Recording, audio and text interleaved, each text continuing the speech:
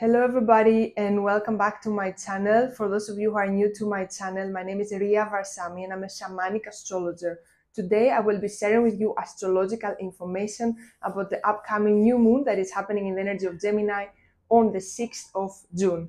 You can find down on the description exactly the time that the new moon will be on its peak depending on your time zone. So this is not just a regular new moon, it's a special new moon because of uh, Jupiter uh, that has also entered in the energy of Gemini just two weeks before this new moon. So this is not only starting a cycle of a month, as like every new moon will do, like a start a cycle of a, of a month approximately, but we are starting a new cycle of a one year because of Jupiter. So before I continue, I'll start analyzing everything and explaining to you. If you are not a subscriber, make sure you subscribe to my channel so you can support my work and I can continue recording these videos for you guys. So I want to talk in this video a little bit more about Jupiter and planetary cycles because this is my favorite topic to talk about and also this is a great opportunity now with Jupiter. So on the 25th of May, Jupiter, which is the biggest planet, let's say, in size we have in our solar system, uh, changed signs, moved into a different energy, into a, to an energy of Gemini. So Jupiter has a 12 year cycle.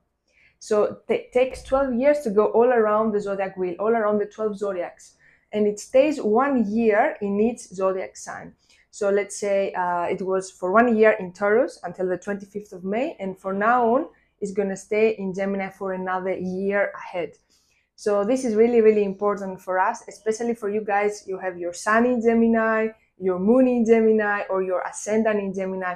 You will be the ones that you will be feeling this energy the most for the upcoming year. Also, if you have some inner planets like Venus, Mars, Mercury in the energy of Gemini, also uh, when Jupiter will be aligning with these planets the upcoming year, that is going to be very important uh, periods for you in your life. Uh, so I want to share a little bit about Jupiter. And Jupiter is the best planet we have. It's the planet of abundance, of expansion, of opportunities, of new horizons. So wherever is Jupiter in, our chart, wherever is traveling, this is where we're going to have the most of expansion in this area of our life. So check in your birth chart. Where is Jupiter? Where is the first degrees of Gemini? You might have Jupiter in two houses, or you might have Jupiter in, uh, sorry, Jupiter. You might have Gemini in one house or in two houses. So, because some people are writing to me, I have no Gemini in my chart. We all have all the 12 energies. Um, so right now, Jupiter is in the second degree, second degree of Gemini, just entered so we're going to be having to go through all the 30 degrees for the upcoming year. So this is the area of your life will be mostly affected the upcoming year. So it's important to know. Uh, this new moon now is happening in the heart of Gemini, 16 degrees of Gemini, exactly in the middle. Every energy, every zodiac sign has 30 degrees. Uh, so uh, to understand, the 16 degrees are in the middle. So every time we have a new moon, as I said, is a beginning of a new cycle we're starting something new. Now with Jupiter also in Gemini, starting a new cycle, these two work together.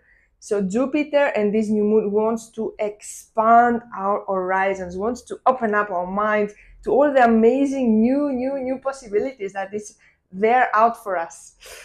So the new moon is always with the sun. They're always in the same degrees when we have a new moon. So the sun is 16 degrees, the moon is in 16 degrees. What is very interesting in this new moon, we have also Venus in Gemini.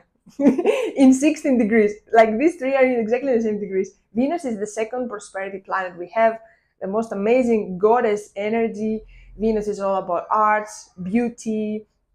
Uh, it's all about our divine feminine energy, finances, love relationships, pleasure of life. So this is also such a prosperous time, right? Venus in conjunction exact with this new moon in Gemini, uh, and also Jupiter entering Gemini. Now, another clue before I, I will I will connect the dots. I just wanted to know why I'm saying these things. I always like to uh, analyze before I do the interpretation for you. So, what is the ruler of Gemini? The ruler of Gemini is Mercury. Mercury is the divine messenger, is the planet that is cl- the closest to the Earth. It's really close to the Earth, and uh, after the Moon is Mercury, right? So Mercury is also in Gemini. Mercury is also in Gemini and is doing also a conjunction with Jupiter. That means are very close to the to degrees with Jupiter, so they work together.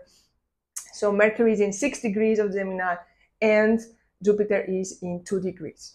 So you understand that, right? So Mercury is the planet that rules our mind, how we think, how we speak, how we communicate. Also is a manifestation planet because whatever we think, we speak, we create. We are creators. Conjuncting with Jupiter, we just enter and change energy and also is an, a planet like an amplifier, amplifies this energy, right?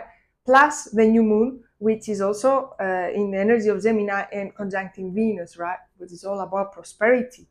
And the archetype of Gemini, of Gemini in shamanic astrology is the archetype of the comedian, is the archetype also of the divine messenger, the one that brings the messages to the world. That's why it's ruled by Mercury.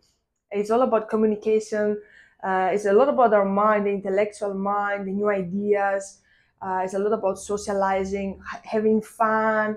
This kind of like comedian energy. That's why it's the archetype of the comedian, like joke, fun, easiness. So this is like a completely new, beautiful one year cycle starting right now with all this easy, funny, easygoing energy that Gemini wants to bring for us. So I will tell you a little bit about real, real life things. What happened to me? I was preparing for this video as I always do. Like I can never record it at the day that I put on my schedule. It's impossible. I always go into process until I'm ready to pass you the information. So I was sitting next to an amazing, amazing beach. I think it's one of the most amazing beaches I ever seen in my life the water was so transparent and clean. And I was there thinking one task after the other, right? I was like, okay, I have to, now I came for a swim, then I have to go for a run, then I have to go and eat, then I have to do this. And I was like, and then the, the water or the nature, however I want to call it, it, it explained to me that I'm, I'm, we are so much programmed to be working with our masculine side, right? With this task orientated mind, like, oh, one thing after the other, one after the other. And the other hemisphere got activated there and was like the water element and was like oh you know what? Like when are you going to have pleasure of life? How when are you going to enjoy this beautiful moment you are right now by the sea when are you going to enjoy this moment? Never because you're always thinking of the next thing and the next thing and the next thing. So this is what i was like oh okay i get it. So there is also a lot of mind energy. There is a lot of mind energy and this. Now we have this opportunity to with venus to learn how to enjoy life and not be so much in our mind. And we've been very much programmed, right, by the system. Since we are born, we are educated to be slaves. Unfortunately, I know. We are going to school, we are like literally like robots. Oh, you have to do your work. You have to you have to study. Then you have to become a good student. Then you have to go to university. And have to get a good job. Then you have to get a good wife, a good man, to get married, etc., etc. right? So we are programmed to work on this way on tasks and the next and the next and nature works like it's just be it's just there and it's just breathing and it's just enjoying the moment so this is also the energy with venus to really being in our feminine energy it is the feminine energy right the passive energy and enjoyment of life and being there so what does it matter right if we have all these uh, let's say luxuries in life or uh, or money or uh, whatever we want but when we cannot enjoy we cannot be present and we're in our head what's the point? So this is the message. That's the real abundance. The real abundance, the real prosperity is to be present, is to know ourselves and to be present. It's not about what we have. It's about how, how what we are. Whoa, this this came like really in the flow right now. Okay. So this is really amazing because as I said, this is a new year cycle that I wrote so many notes here. I'm like, okay, I don't know which order to put now. I, I mix I mix it up. So we are able to manifest at the moment a new life for us. This is the opportunity. As we are creators and everything we create through our mind, the stars right now, they have, we have, they give us this opportunity to see a wider picture, see a higher perspective, see a different perspective, see all these new possibilities or expansions. And the message is you can become anything you want there is no limit in the universe on what you can do and what you can become. It's up to you to choose, think about it, and just start to create it. So this is this is the energy. We have five planets in Gemini. We have the Sun, the Moon, Venus, Jupiter, and Mercury. Five planets in Gemini. It's a lot.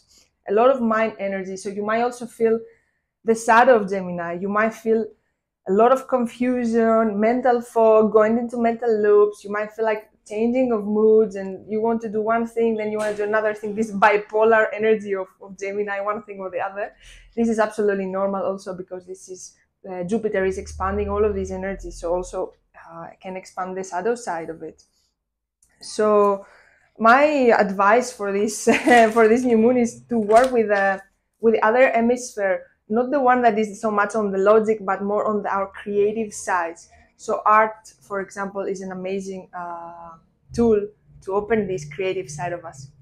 Um, now, I want to talk about the aspects of the moon. So the moon does a square with Saturn. And Saturn is karmic, the main karmic planet we have, is connected also with limitations, with restrictions we put in ourselves. So also this new moon squaring Saturn wants us to show want to show us all these limitations and restrictions we are putting into our lives, into ourselves. It's like, no, no, no, no, I cannot do this. I can only do until this point. So this is a restriction we put on ourselves, and this is what Saturn wants us to to release and, and move on. Now, the moon also sextiles the North Node, which is the karmic destiny. So this is also uh, facilitating this energy of aligning with this karmic destiny, which is for all of us. And this is, as I always say, something that we want to do, something that the karmic destiny is always connected with our heart, our heart deepest desire. And also the, the moon is trining, another good aspect with the South Node, which is again about past lives, karmic things. So also we have a lot of opportunity to release past lives, karmic stuff. So let's say uh, you might be a healer for many lifetimes, right? You might be you you might be a super skilled healer in this life, but this is not what your heart wants to do in this life. That's not what you really want to experience. You come here to experience something completely different. Maybe you want to be a cook in this life. Maybe you want to be a singer. Maybe you, be, you want to be a guitar player, uh, play, player. Yeah. Maybe you want to be a rugby player. I don't know. But this is the thing. So this is like letting go of these identities also that are related with past lives and things we are maybe very easy for us to do or very good at, but this is not what is our deepest heart desire. So that's all I want to say. Uh, one more thing. Also, Jupiter and Mercury that are in conjunction, that are working together, are doing a trine, a harmonious aspect with Pluto, which is the, planet, the planet of transformation, death, and rebirth. So also there is also a lot of transformational energy flowing at the moment, but very positive. This is a positive, harmonious aspect. So we have this opportunity also to, uh, as I said, to go some ego deaths. I always call them ego deaths or identity deaths and rise uh, what is the true us, the true self, what is our heart desire, what we want to do. so, and this another thing. Another thing I want to share is like I was I was also noticing the last days like uh, this this kind of realization like we have so many voices in our heads right so many voices talking to us and this uh, wants to do this this wants to do that so this new moon also helps us to to be aware of all these voices and find our own voice. What is our own voice? And our own voice is our heart. What is our true heart desire? What we want to do. So this is the energy. So it's an amazing, amazing new cycle, one year cycle with this. And as I always say, the new moons and the full moons work as activations. And especially when we have, for me, is is one of the most important planets. Jupiter is the biggest planet in size and also it sets like it's like works like a chord it's like amplify amplifies everything. So yes it is an important new moon. It is an important new moon and gives us this big opening and opportunity. So that's all i want to have that's all i have for you to, to share with you today. And we have venus on the background and it's so funny because even before uh, recording this video i was like oh i didn't paint anything the last weeks. I was so busy what am I, what I, what I'm going to use as a background? And then I thought, oh, I'm just going to use this, this painting of Venus without even studying the, the birth chart, right? I, I look at it like what's many days later. So yeah, this is Venus in my eyes, lots of gold. And yeah, I wish you all a beautiful, beautiful new moon. And thank you so much for your comments. Also, I want to say thank you so much for your beautiful, beautiful comments. I appreciate you all and all of your comments, and I read them all. And have a beautiful new moon. Bye for now.